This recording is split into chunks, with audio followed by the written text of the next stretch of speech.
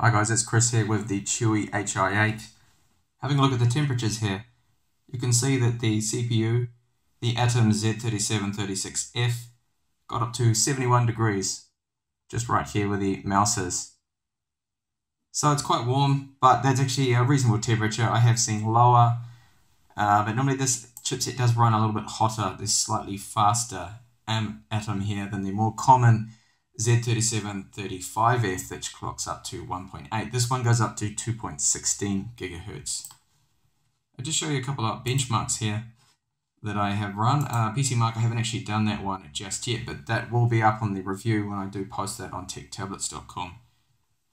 So I've benchmarked the internal storage, and unfortunately it's quite slow. Look at that. I mean, those read speeds are some of the lowest I've seen. I have seen speeds like this before on a Pipo mini PC, and it made the, the actual mini PC very slow and laggy and I didn't really like it. It was it was just bogged down by the drive. But I'm not actually getting that experience from this uh, HI8 here.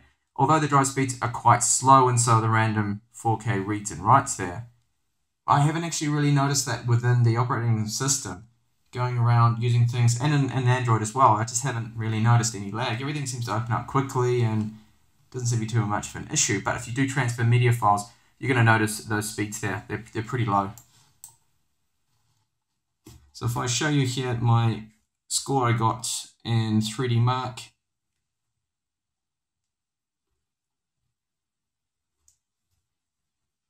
hopefully this loads up quickly. It can sometimes be a little bit of a bit of a laggy kind of application. No, it's just going to exit on me, so it's not going to let me show you the scores, I don't think.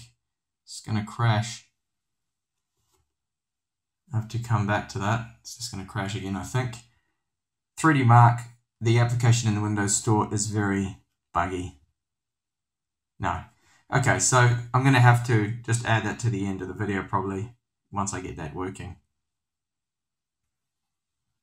So I'll show you the device manager. And you'll see that uh, there's a little bit of a uh, interesting surprise here, well at least for me, that I didn't realize that this particular tablet came with uh, GLONASS and GPS chipset in it. But it does. I'll just show you here in the device manager. So we have um, Broadcom wireless, just, just right under here. So we have Broadcom wireless in adapter. Normally it's uh, a Realtek adapter, but here they've decided to use Broadcom. Maybe they got a cheaper, better deal there. And under sensors, I noticed all of this. Look, we have the obviously the light sensor, orientation sensor, and then there's this, the Broadcom GLONASS geolocation sensor.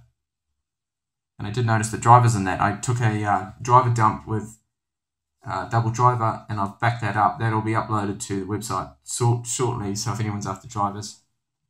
But it's an interesting little find there that uh, does have GPS. I'll test that out in Android to see if it's actually going to work within those GPS location apps like Maps or GPS status. I will check that out and see if that works and I'll see if I can try and run that 3D Mark. It's going to let me do that, but um, probably not. I'm probably going to have to reboot the whole machine here. So battery life is, um, you're looking probably about four and a half to five hours. You can see the stats down here. So I've been running it for almost two and a half hours now, and apparently I have about another two hours left. So that's the kind of impact that the screen is having on the battery life here within Windows. So it is going to be a lot less than the Chuwi VI8 maybe about half an hour, 40, 40 minutes less. I will do a proper test of that. That's not kind of a realistic battery because I have been benchmarking and things like that, so that's been using the battery a little bit more. I've had the screen set to around 40% and it is a brighter screen than the other model if you've seen my other videos. So actually I had it on about 50% there. That just gives you a rough kind of idea. I will do some proper testing on that to find out exactly what kind of battery life I'm going to get and screen on time in Android as well. I'll do that test, but I just need to free up some time so I can can do that. Now the Geekbench 3 score.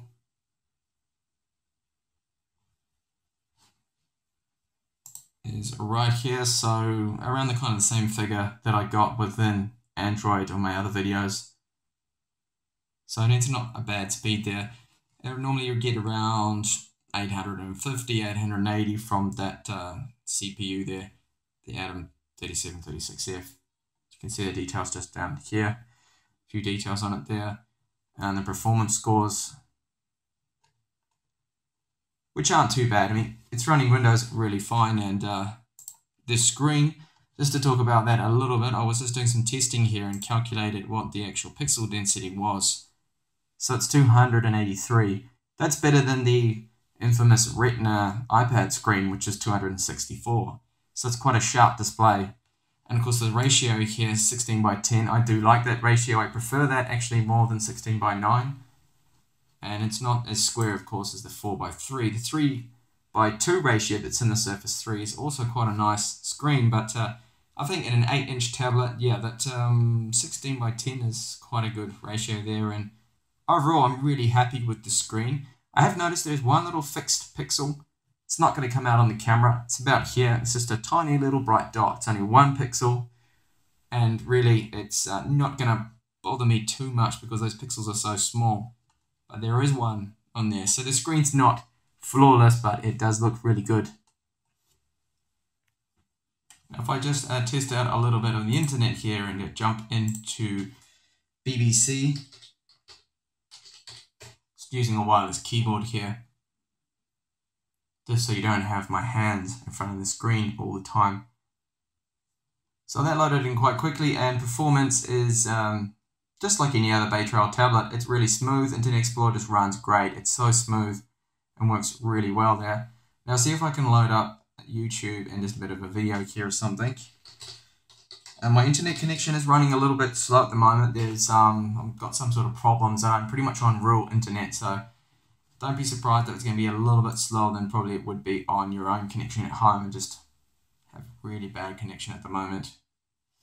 So if we just test out uh, the carbon-based life forms, someone that's not going to try and sue me on YouTube for copying their music.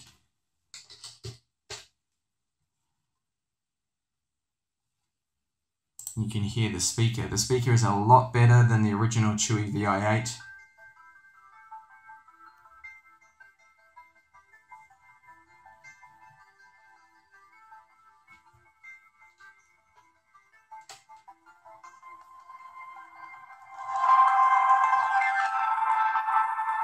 So that's these, the speakers just there on the back.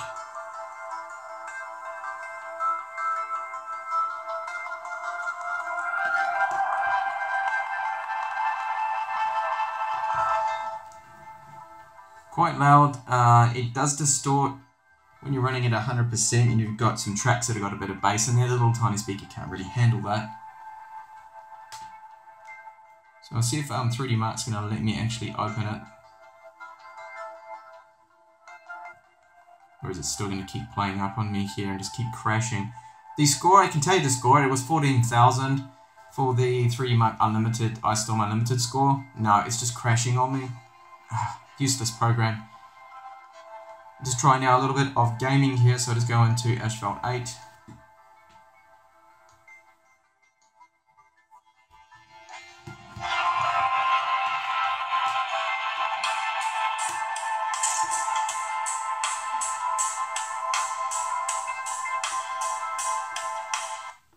Close that down there because that's um, really quite loud there. So now I just um, hopefully you can go back into Asphalt. No, it closed it, didn't I, swapping down. So I'll up Asphalt to show you quickly what a bit of gaming is like.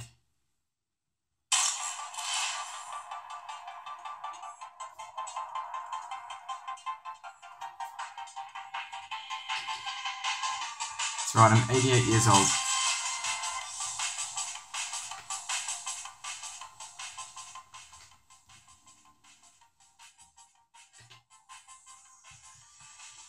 Course, you can control this with an Xbox 360 controller or any other controller if you wanted to. You could plug that in via the micro USB port.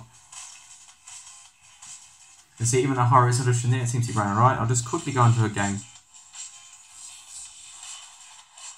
Me just show you how that is. So you can see even though the eMMC drive is quite slow, it's I'm not seeing it when I'm using the tablet, which is um, miraculous really. I thought it would be affecting it, but it doesn't seem to.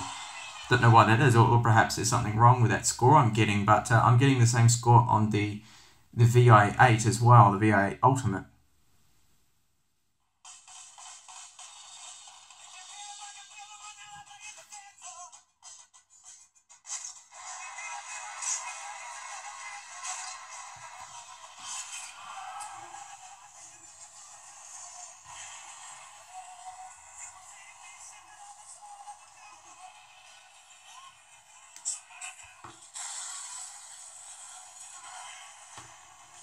So you can see gaming is uh, running fine on that. Now I will do some proper gaming tests. This is just a Windows Store game I'm testing here. I will actually have another video up, hopefully in a couple of days or so, maybe tomorrow, uh, with some testing out some games like League of Legends and Dota 2 and Counter-Strike Source, you know, the games that people like to play, Team Fortress 2 online. I've had a few requests for people asking me to test those, those ones out, which I'll, I'll do shortly. Alright, so that's um, a quick little hands-on there in Windows of the Chuwi HI8. I will have a full detailed review up on techtablets.com within a, a week or so. Just need a bit of time there to test out the battery lives and do some further other benchmarking and tests on there just to see how that runs. Thank you for watching the video and hopefully catch you in my next one.